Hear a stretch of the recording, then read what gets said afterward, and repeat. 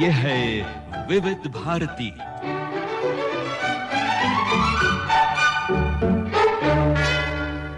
पत्रावली में सुनिए श्रोताओं के पत्र और उनके उत्तर।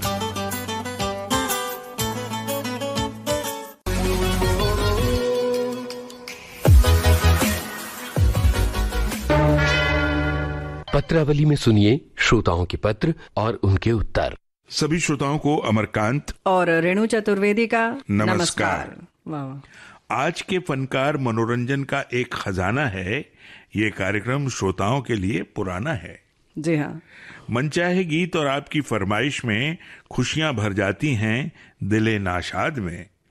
फ़िल्म में एक गाने अनेक और एफआईडी पुनः इनकी शुरुआत कीजिए श्रीमान जी। एसएमएस के बहाने वीबीएस के तराने हर दिन मैसेज भेजकर सुनता हूँ आठ गाने। क्या बात है क्या बात है। बचपन से सुन रहा हूँ वीबीएस का प्रसारण सुन सुनकर सीख गया हूँ शब्दों का उच्चारण। वाह वाह वाह क्या बात है क्या बात है। बहुत खूब बहुत खूब। शराफत जी शुक्रिया कि आपने लिखा। और पहले भी जो आपने कविता लिखी थी सचमुच अमरकांत जी याद आ गई। जी ये उसी का आगे का भाग है। लेकिन हमें लगता है कि ये भी अपने आप में स्वतंत्र है। अब श्रोता ये ना परेशान हो कि उनसे पहली मिस हो गई। मिस हो गई ये तो सही बात है कि अगर वो छूट गई तो कहीं कसक रहती है मन में कि वो कविता हमने क्यों नहीं सुना। लेकिन ये ना परेशान हो कि इससे कोई दिक्कत होगी। ये अपने आप में स्वतंत्र है पूरी है ये कविता।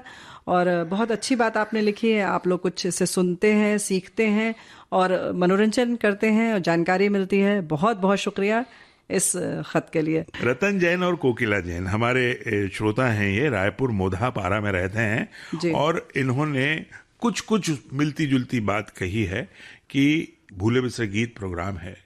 उन्होंने कहा है कि ये तो एक खजाना है जो विविध भारती रोज लुटाता है। ऐसा खजाना किसी के पास नहीं है।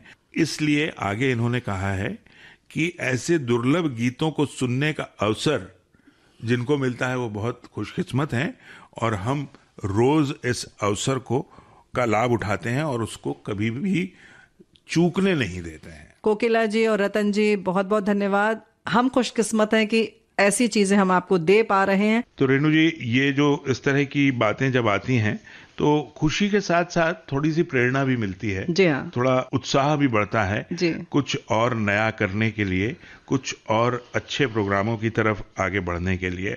अब एक पत्र है मुकेश दिनकर कासलेकर जी का। इनका कहना है कि मनचाहे गीत प्रोग्राम में एक गाने के लिए एक या दो पत्र शामिल होते हैं। ये गलत बात है। आपको 200-300 पत्र जब मिलते हैं तो कोशिश तो ये करना चाहिए आपको कि ज़्यादा से ज़्यादा पत्र शामिल हो। मुकेश कासलेकर नाम है हाँ मुकेश जी ये बात तो सही है, लेकिन अभी हमारे कुछ श्रोता ये भी कहते हैं कि आप जो तीन चार नाम केवल शामिल करते हैं, वो बहुत गलत है। आप आठ, दस जितने भी नाम हैं, सबको शामिल करिए, भले ही पत्र कम शामिल करिए। तो कुछ ऐसी बातें आती हैं कि हमें समझ में नहीं आता हम क्या करें, और बहुत सारे पत्र हम शामिल करेंगे तो ये तो कार्यक्रम जो है वो एसएमएस के बहाने जैसा हो जाएगा। तो श्रोताओं सबकी अपनी अपनी एक सीमा है। हम कुछ इस तरह से संतुलन करना चाहते हैं कि आपके नाम भी शामिल हों और मनोरंजन भी आपका होता रहे यानी कि आप गीत भी सुनते रहें। रेणु जी एक पत्र मेरे हाथ में है। ग्राम बड़ा गाँव तहसील कुंभराज के मांगीलाल धाकड़ साहब का। जी। इनको हमारे यहाँ से प्रसारित होने वाला कार्यक्रम सेहतनामा बहुत अच्छा लगता है। अब इनका कहना है कि सर्दियों का समय है और घर घर में बीमारियाँ जो हैं वो सर्दी से जुड़ी जो होती हैं वो हो रही हैं। ऐसे समय में आपको निमोनिया पर एक कार्यक्रम ज़रूर प्रसारित करना चाहिए। आ, हम देखते हैं वैसे बहुत आगे तक का हमारा कार्यक्रम निश्चित हो चुका होता है ऐसे में बहुत ज़्यादा बदलाव की गुंजाइश नहीं रहती है। हो सकता है अमरकांत जी की निमोनिया पर कार्यक्रम ऑलरेडी नियत हो उस पर प्रसारित करने के लिए उसकी व्यवस्था हो चुकी हो। आप सेहतनामा कार्यक्रम सुनते रहें बल्कि यूँ कहें कि विविध भारती सुनते रहें और कई पत्रावली से हम यही देख रहे हैं कि सेहतनामा पर हमारे जो श्रोता हैं कुछ ज़्यादा ही पसंद कर रहे हैं कि इस तरह से उनकी जो समस्याएँ हैं जो बीमारियाँ हैं उससे जुड़ी हुई जो बातें उन्हें सुनने को मिलती हैं वो उनको बहुत अच्छी लगती हैं हमें लगता है। विविधा कार्यक्रम का प्रसारण जो हुआ 22 नवंबर को जी। वी शांताराम जी पर बातचीत की गई। बहुत अच्छा लगा ये कार्यक्रम और विविध भारती का स्थान बिल्कुल खाने में नमक की तरह है। लेखक हैं इस पत्र के प्रदीप जैन सिमगा छत्तीसगढ़ के हमारे श्रोता। प्रदीप। जी बहुत बहुत धन्यवाद। वाकई नमक का जो महत्व है वो सब जानते हैं। कुछ कहने की ज़रूरत नहीं है और आप इतना महत्व विविध भारती को दे रहे हैं। बहुत बहुत धन्यवाद। और हम भी ये श्रोताओं आपको उतना ही महत्व देते हैं। जी बिल्कुल सही कहा आपने। हमारे लिए श्रोता जैसे इन्होंने कहा कि खाने में नमक हम तो कहते हैं श्रोता ही हमारा जो हमारा जो खाना है हमारे जो घर में रोटी जी हाँ। है वो इन श्रोताओं की वजह से ही होता है जी हाँ। हमारे लिए तो श्रोता ही सब कुछ है जी हाँ वो भी बात है और यूँ अगर हम बात करें विविध भारती की बात तो श्रोता जो है हम उन्हीं के लिए सब कुछ लेकर आते हैं पत्र श्रोता आप लिखते हैं पसंद हम आपकी जो है उसको सर आँखों पर रखते हैं और कोशिश करते हैं कि आपकी ही पसंद के सारे कार्यक्रम आए क्योंकि हम सिर्फ़ आपको ध्यान में रखकर ही सब चीज़ों का नियोजन करते हैं। भड़भूंजी आगर ये मध्य प्रदेश में कोई जगह है? जी। वहाँ से रघुनाथ मालवी भंवरबाई सुषमा पुष्पा ममता मंजू इन्होंने पत्र लिखा है। अ, सिर्फ़ तारीफ़ है इसलिए मैं जल्दी से पढ़ रहा हूँ सब कुछ। हवा महल कार्यक्रम उदयपुर की ट्रेन बहुत अच्छा था। सेहतनामा डॉक्टर निखिल अग्रवाल से जो बातचीत की गई, वो भी बहुत अच्छी थी। विविधा कार्यक्रम जो प्रसारित हुआ, वो भी बहुत अच्छा था। और क्या लिखें, जागो सुबह हो गई के कार्यक्रम के बारे में, सुबह पाँच से छः जो आता है, उसके बारे में इन्होंने लिखा है कि बहुत खुशी हुई सुनकर, बहुत मन प्रसन्न हो गया सुबह सुबह ये कार्यक्रम सुनकर। अमरकांत जी, ये तो बहुत बड़ी बात है, पुष्पा जी और रघुनाथ जी, इन लोगों ने पत्र लिखा है कि जागो सुबह होगी कार्यक्रम, जो हमारा सुबह पाँच बजे से होता है, वो आपने सुना और उसके बारे में पत्र लिखा। इस संदर्भ में पत्र बहुत कम आते हैं। और हमें लगता है कि श्रोता इतनी सुबह सुन नहीं पाते होंगे लेकिन आप सुनते हैं और उसके बाद आपने पत्र लिखा। बहुत बहुत धन्यवाद। विविध भारती से प्रसारित छाया गीत और आज के फनकार कार्यक्रम ऐसे कार्यक्रम हैं जो ऐसा लगता है कि कभी बंद ही ना हो। ये हैं छत्तीसगढ़ देवरी भाटापारा के गन्नूलाल रजक मायाराम रजक खोर बरहा साहू और आकाश साहू। इनका बहुत-बहुत कहना है और रेणु चतुर्वेदी और अमरकांत दुबे की प्रस्तुति जो होती है पत्रावली वो में वो बहुत अच्छी लगती है। किसी श्रोता का मैं पत्र पढ़ रहा था वो पत्र मेरे हाथ से न जाने कहाँ चला गया लीजिए मिल गया। सोनू मोनू प्रजापति इनका एक अलग तरह का सुझाव है। कहना इनका यह है कि आप श्रोताओं की पसंद के गाने तो सुनवाते हैं तो ये तो, तो हर एक लगभग बहुत से प्रोग्राम है। जी। आप एक ऐसा प्रोग्राम शुरू करें जिसमें श्रोता की आपसे बातचीत हो लेकिन गाना आप अपनी पसंद का सुनवाएँ।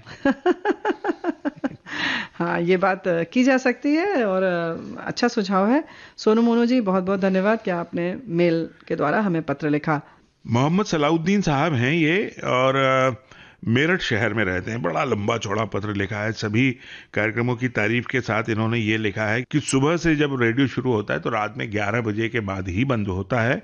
उससे पहले नहीं कई कार्यक्रमों के नाम लिखे हैं। उसमें बहुत से अ, बहुत से जो कार्यक्रम हैं रेणु जी उस उनके अंदर हमने क्या क्या बातचीत की है वो तक इसमें लिखी हुई है।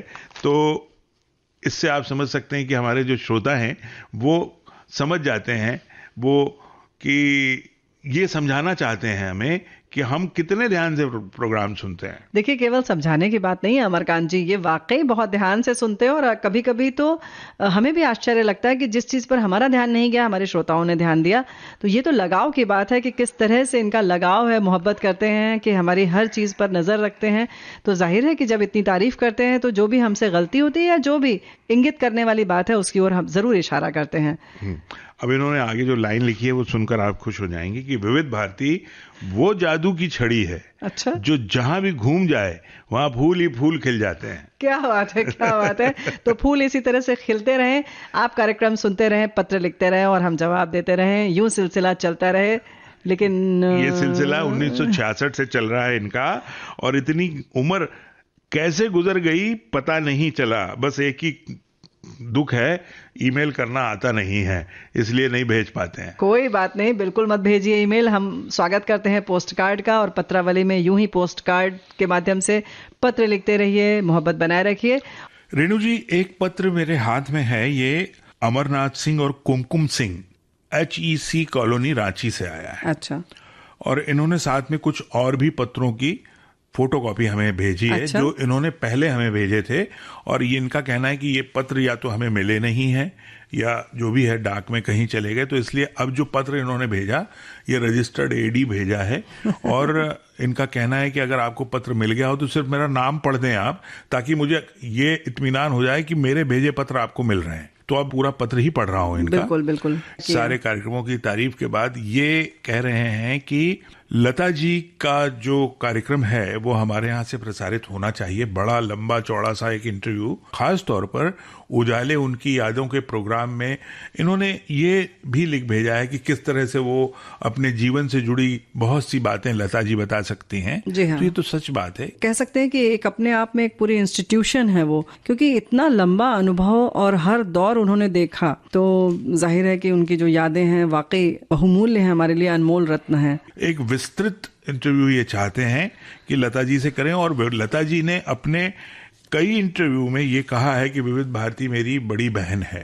तो। लता जी से यदि आप संपर्क करेंगे तो लता जी मना नहीं करेंगी ताकि हम सब लाभान्वित हो सकें। ये हमारे लिए बड़े गौरव की बात है कि लता जी कहती हैं कि विविध भारती उनकी बड़ी बहन है और वो मना नहीं करेंगी। लेकिन अमर जी, जिन्होंने पत्र लिखा और अमरकांत जी, दोनों जन से हम यही कहना चाहेंगे कि जो उनकी अवस्था है, वह है उसके हिसाब से बहुत मुश्किल लगता है कि वो आ सकें या वो अब हमें इतना वक्त दे सकें कि हम तीन चार पाँच घंटे की कुछ रिकॉर्डिंग कर सकें।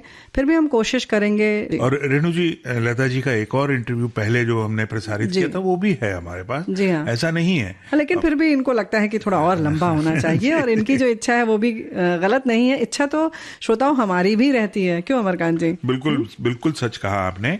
और रेणु जी एक ये चमकता हुआ कुछ आप लेकर बैठे हुए हैं। क्या है बिल्कुल मैं ये जो चमक आप तक पहुँच रही है उसके पीछे की कहानी भी बताता हूँ रेडियो कॉलोनी दिल्ली में निधि मिश्रा जी रहती हैं जी। उन्होंने नए साल और क्रिसमस के मौके पर एक ग्रीटिंग कार्ड अपने हाथ से बनाया है। ये देखिए बहुत ही बेहतरीन कार्ड जिसमें क्रिसमस का ट्री भी बना हुआ है जिसमें सेंटा क्लॉज भी बना है नए साल के सितारे भी जड़े हुए हैं चमकदार स्याही से happy new year happy Christmas ये सब भी लिखा हुआ है। एप्लीक टाइप का लगाया है काट कर उसको जी। सुनहरा भी है रुपहला भी है अंदर घंटी बनाई हुई है जो कि क्रिसमस का प्रतीक है। तो इन्होंने हम तक ये सब भेजा है। जी हाँ। ये इनका प्यार है। और ये जो प्यार है इसी तरह से श्रोताओं का हमसे बना रहे। तो श्रोताओं से लेते हैं इजाज़त। दीजिए इजाज़त रेणु चतुर्वेदी। और अमरकांत को नमस्कार। नमस्कार।